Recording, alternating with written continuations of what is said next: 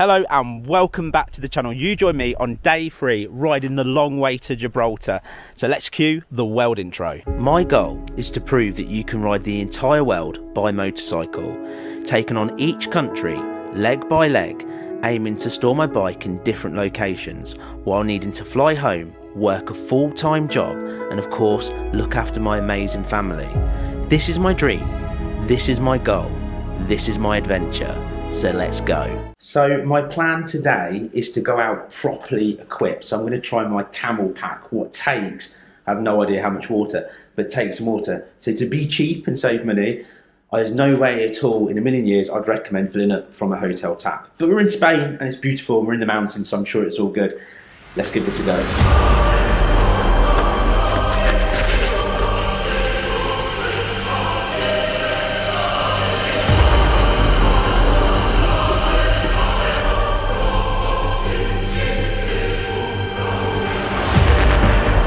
Now with the camel toe field, I get to suck the juices. Mm.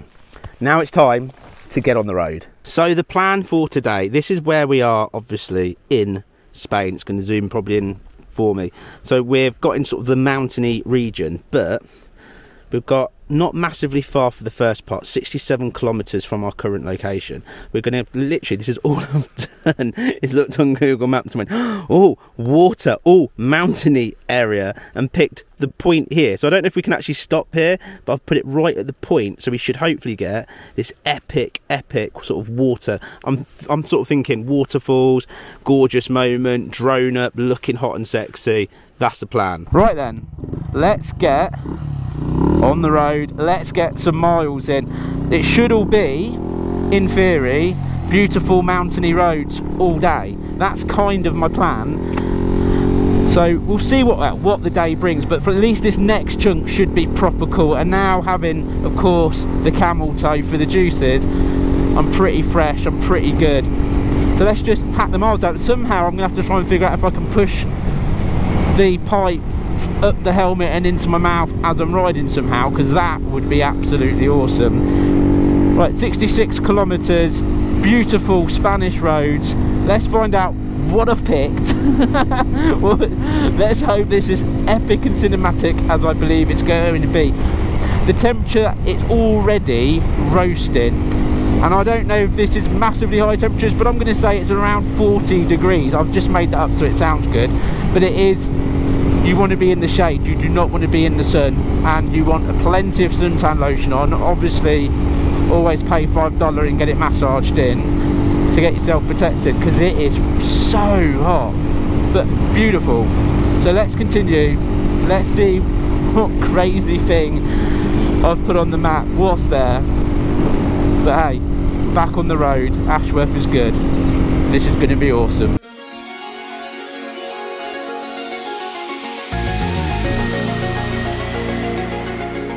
well we've already hacked down I think what 30-ish kilometers maybe slightly more but it's just nice it sort of reminds me more than anything that when I come into a place like this it's very Spanish isn't it? It's a very very Spanish town and all the buildings going along and I go oh yeah I'm in Spain.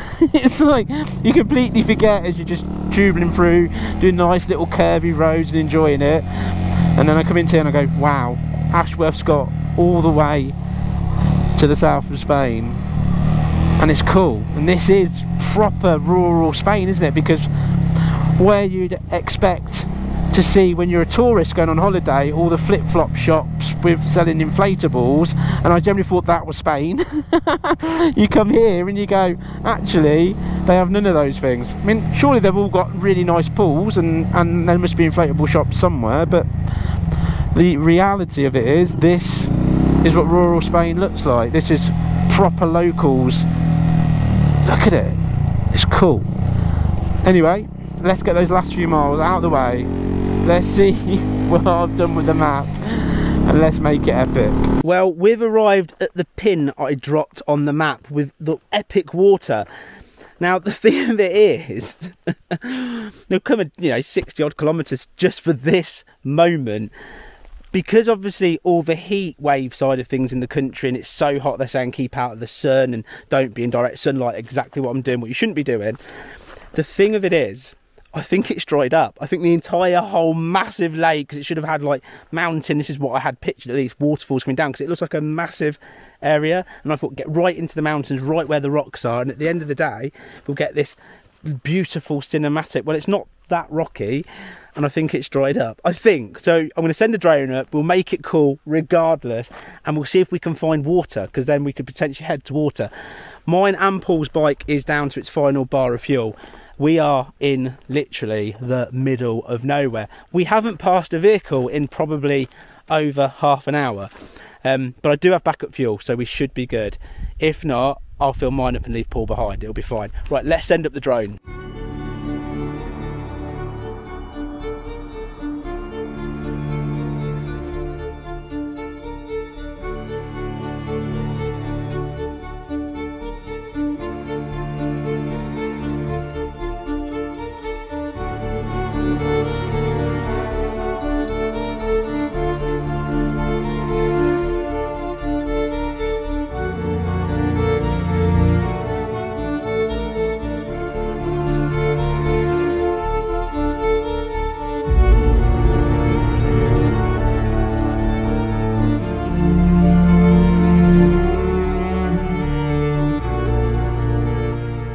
So I'm sure that you will agree that that's it's quite magical, isn't it? Seeing the river sort of all dried up in the bed. There's something about it. It's like almost like very Marsy, but there was water far away in the distance, but not a lot of it, and I couldn't reach it with the distance that I had to go. But like I said, something magical about it.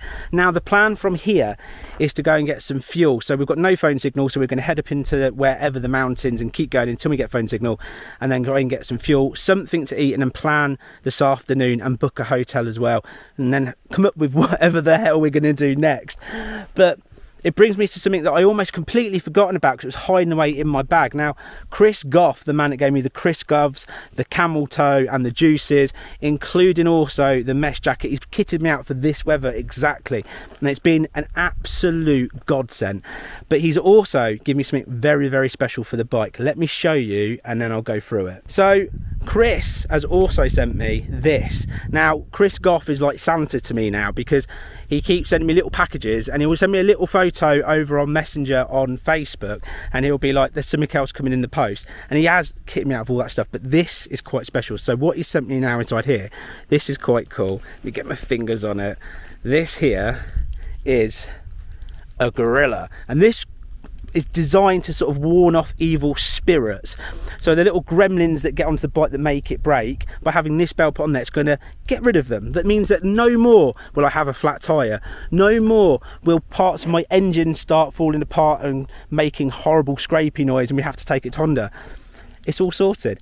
It's calling it the gorilla that's going to warn off all the bigs. The monkey's got like a big brother that's going to take care of it. So let's attach this on the bike.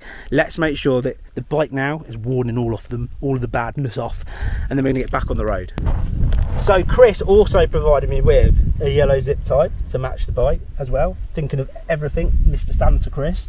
So this is going to go underneath here so it can freely dangle near my engine saving me from any of those little pesky, horrible, we're going to call them, I can't say that because I'll get in trouble. What I was about to say, that is, that ladies and gentlemen, that's cool.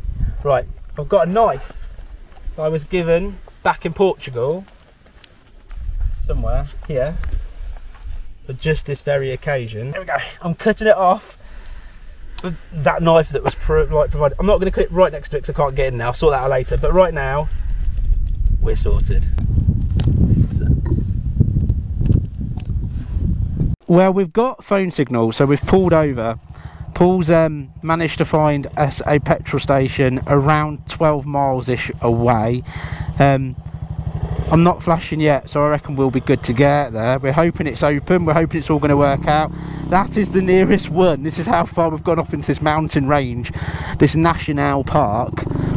So let's get some petroleum, fill up Ashworth, give her her love juice, and then we'll uh, we'll come up with this awesome plan. So Paul's phone isn't the brightest in the world. Always pulling in. Whoa, whoa, whoa, whoa, whoa, whoa. Always turning me around. So, um, right, after almost crashing and dying into the back of Paul, um, Paul's phone's not that bright, so what he's having to do is put his hand over it constantly to see which way it's taking us. was quite funny. Anyway, after all that said and done, we are finally going to get some petroleum. 12 miles, it'll do. The fuel light's not flashing. We're all sorted. We're all good. Let's get a few miles. But what I'm going to do, what I'm going to do to make it a little bit more fun I'm going to of course make it the most cinematic ride ever because look where we are. We're in a national park. So let me show you this Spanish national park Le Película Barraca de Correco de Micolecos, and just check out the stunningness of the roads and the beautifulness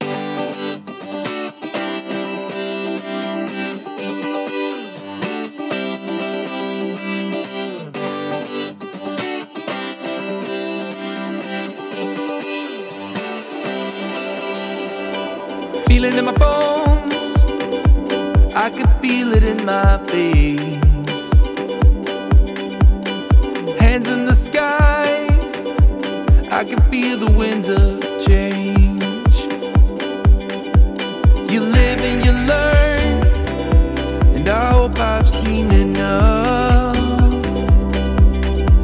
to make something right and make up for what I've I was down, but things are looking up. I wanna get high on you, caught by surprise by you. Want you to as I know it should. I wanna get high on you, caught by surprise by you. Want you to make my heart feel as much as I know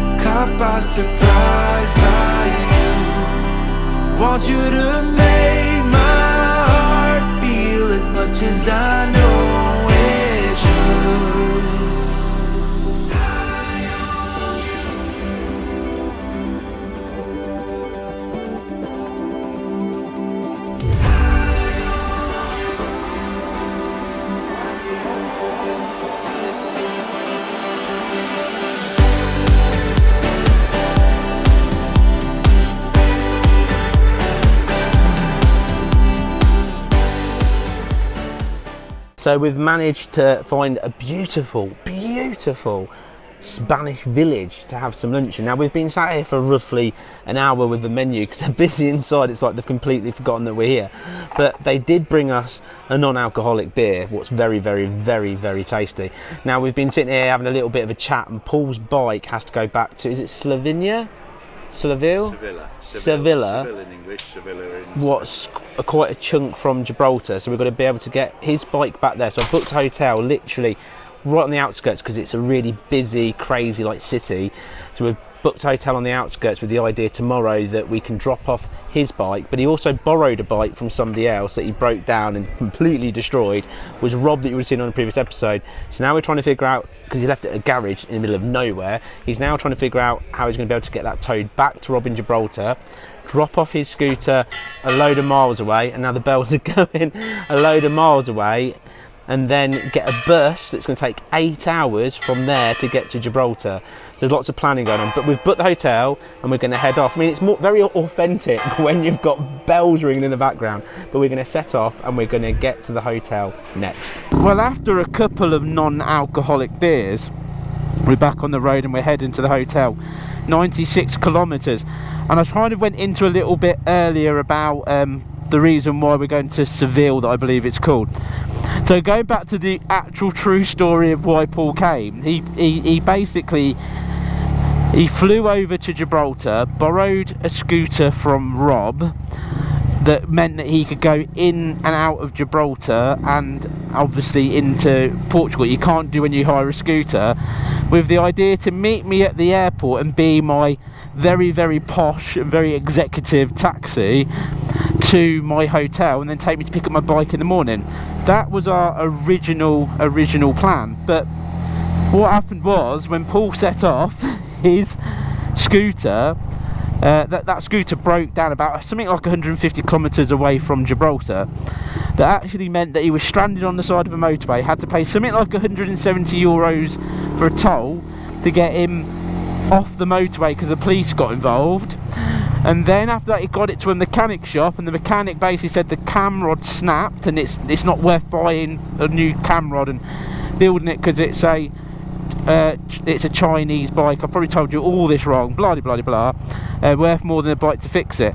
So then, Paul's then tried to contact Rob that he borrowed the bike from. That hopefully we'll see at, towards the end of this series. So he's contacted him. The garage has agreed to store it. Then Paul then got a a lift to the train station, and then from the train station into Seville where he managed to hire a scooter but couldn't cross into Portugal so had to spend the night at on the border basically in a hotel where I'd booked a room for both of us trying to keep it cheap because Faro's so expensive and ended up in that cheap nasty hotel what ended up costing me more than a nice hotel for a single person. You couldn't write this stuff. So then on top of that he picked that up. I met him and then obviously you saw the taxi moment in the previous video because we had to try and make it fun and have a laugh about the entire thing. So since then we've been sitting and having a couple of non-alcoholic beers because we have to plan what's going to happen because we need to get the scooter back to Rob. So now what Paul's done is we've managed for Paul to hire a van from a, one of the big brands.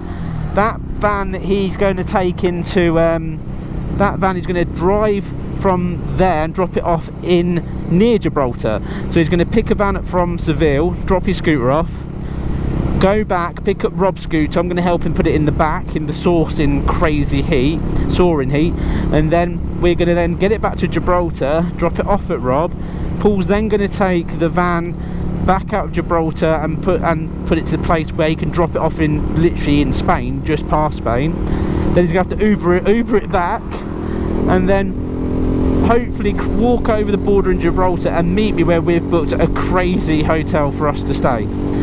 So it's going to be all mental. We have no idea if this is going to work out. And this is all to get the scooter back.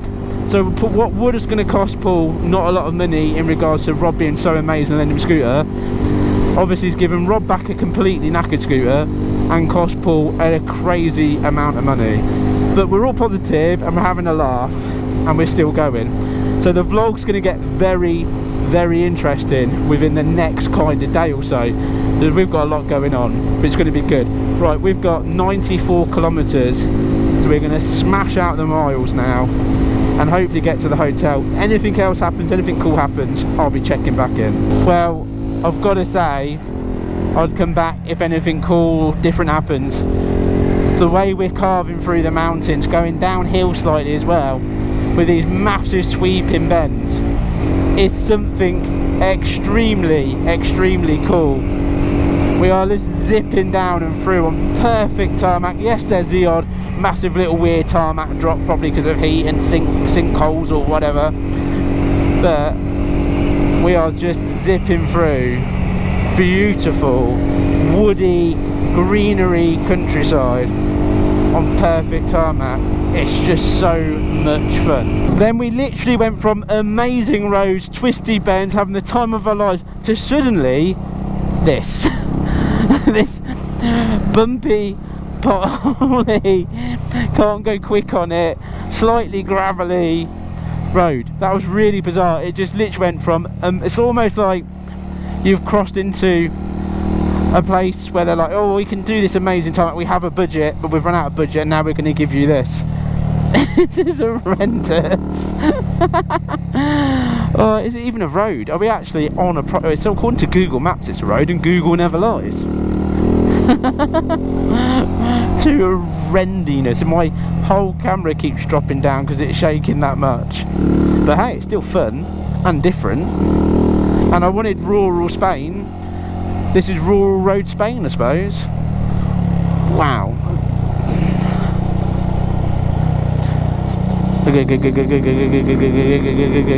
Well, we've pulled over for a little bit of aqua after. Not stressful, but let me give you a quick, quick, quick, quick example of what we've got. But basically, it's red hot.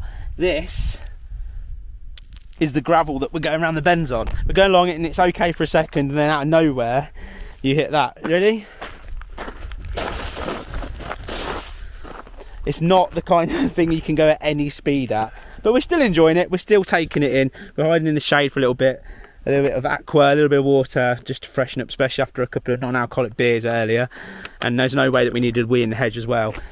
So, bit ropey, and I think we've got this for a few more kilometres, and then hopefully we'll get back on the main road and just hammer the miles down to the hotel.